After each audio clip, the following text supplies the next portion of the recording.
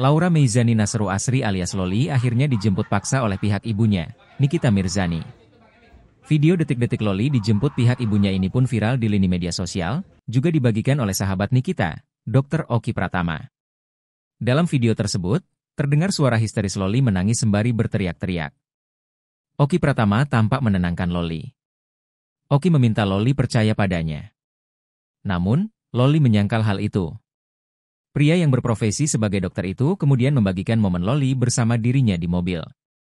Ia terlihat masih menangis sembari ditenangkan oleh pria yang diduga anggota kepolisian.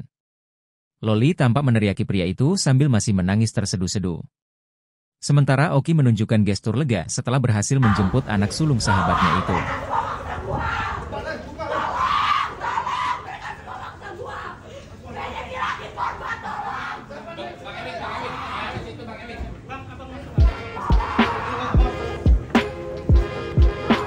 Law Tribun X sekarang menghadirkan lokal menjadi Indonesia.